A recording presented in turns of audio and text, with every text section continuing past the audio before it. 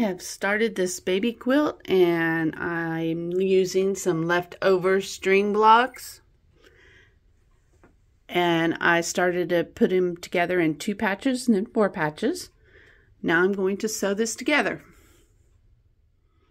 Hi, it's Denny again. Welcome back. I am working on a baby blanket and I've already used my orphan blocks and this yellow dot. And I made a baby blanket. It's just a small one. And I have some flannel I want to use for the backing. Isn't that cute? Little cats.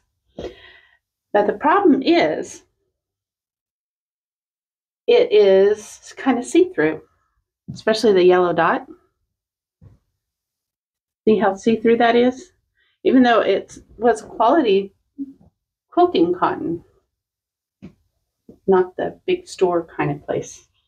You know what I mean? okay, so what I had thought, since it's already hot here in the south, that I would just make it with the front and the back, the flannel.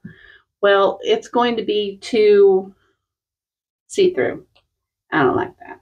So I'm thinking I'm just going to have to go ahead and put some batting in here. And I don't know, would cotton or polyester be better?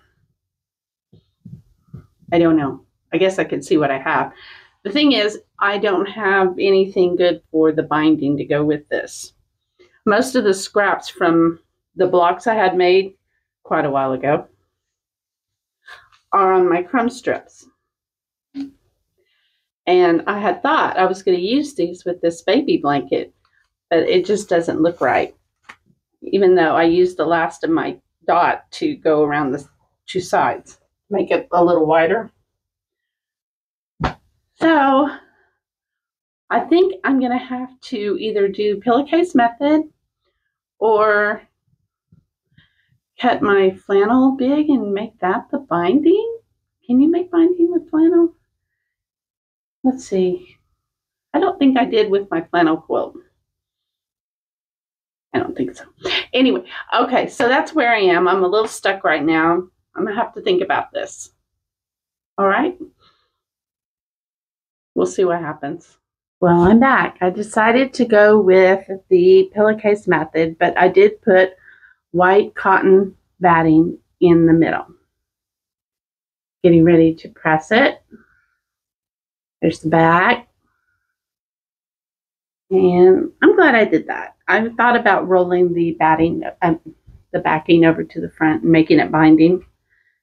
But I just wasn't real crazy about the two together.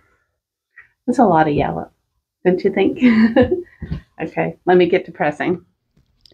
Well, this is a first. Can you see that? It didn't break, it bent. while I was quilting. That's scary. Yeah.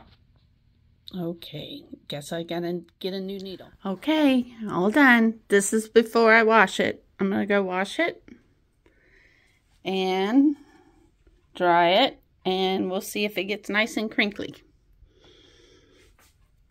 Stay tuned.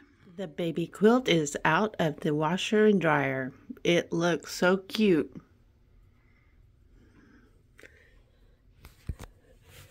I've been checking it for strings, thread.